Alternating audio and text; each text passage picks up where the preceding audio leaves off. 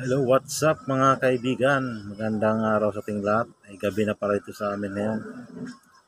Katapos lang magligpit mga kaibigan sa ating paninda sa labas, mga kaibigan.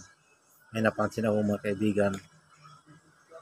Pag-check ko ngayon sa CCTV mga kaibigan, kasi may kaninang mga bandang alas 7 ng gabi, may tatlong mga bata na pumapasok dito na kaduda-duda yung minahan natin. Ngayon, chinecheck ko yung CCTV mga kaibigan. Ay, may ginawa nga silang milagro mga kaibigan. Mga bata pa, mga siguro nasa mga 13 to 14 years old, wala pa nga eh. Mga bata pa, ba- bakla sa kayong ano, babae. Dalawang babae, isang bakla. Ngayon mga kaibigan, dapat talaga tayong mag-iingat. Lalo na lalo na sa ganitong mga negosyo mga kaibigan. Kahit ano pang negosyo natin mga kaibigan.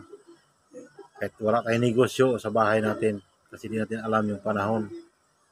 Kasi sobrang tiwala natin sa ating ah, kapwa. Hindi natin alam na nandyan na pala sila nagbumasid sa atin. Naghanap ng chimpo, paano makanakaw. Ngayon mga kaibigan, ipakita ko sa inyo kung paano nila ang strategy, paano ang strategy nila mga kaibigan. Nagdoble sila, nag, yung damit nila mga kaibigan, nagdoble pa yung damit nila. Ngayon, halimbawa kung paglabas nila, pagbalik nila, iba naman yung damit nila. Ngayon, napapansin ko kanina, sa umaga pa lang, iba yung damit, pagdating hapon, iba na naman. Ngayon, pag check sa CCTV, talagang mayroon silang ginagawang kalokohan. Tara, samahan niyo ko mga kaibigan, ipakita ko sa inyo kung ano ang ginagawa nila.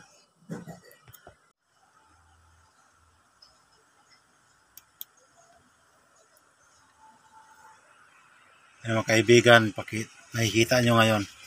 Ayan, dito ko nakaupo sa kaha.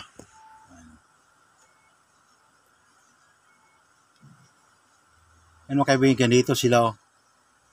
Yan, dito sila dadaan mga kaibigan. Dito sila magtatanong sila sa akin. Ayan. Pasok yan dyan mamaya. Ayan, pumasok na yung dalawa. Ayan. Tatlo yan mga kaibigan. Yung nakaitim na yan, ang damit niya, kulay stripe yung ilalim niyan. Ngayon, papasok yan dyan. Ayun, pa, lala, tapos papasok yan dito sa kabila. Dito, ito, ito, ito. Yan. Pagpasok nila dyan, titingin sila na walang tao, kukuha sila. Dalawa sila ang kukumuha.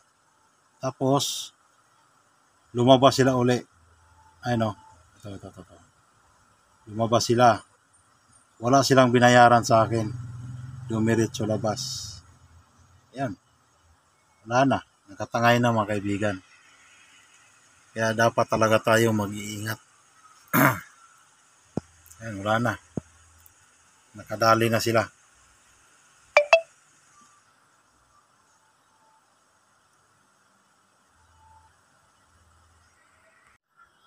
Ayun na, nakita na natin mga kaibigan kung gaano kagaling ng mga kabataan ngayon. Hindi natin alam kung paano pinapalaki ng mga magulang ng mga yan. O, baka tinuturuan ng mga magulang. Yan ang mahirap sa atin, ano? Kasi pag sinakta natin yan, wala tayong kalaban-laban dahil mga ba- minuto edad. Kaya, ano kaya dapat, ano, bukas, pangalawa, yan ang inabangan ko mga na mahuli ko talaga eh. Gusto ko makausap ng magulang yan. Anong dapat gawin nila dyan. Kasi hindi pwedeng ganyan na lang yan. Kasi kung hindi mo gawa ng aksyon niya, talagang ulit-ulit gagawin at gagawin nila yan. Dapat abang baga pa, maturuan ng leksyon ng mga ganyang bata na mga ganyang kabataan na nagsimula na magnakaw. Ayun na mga kaibigan, maraming maraming salamat sa inyong panonood. Maraming maraming salamat sa inyong suporta.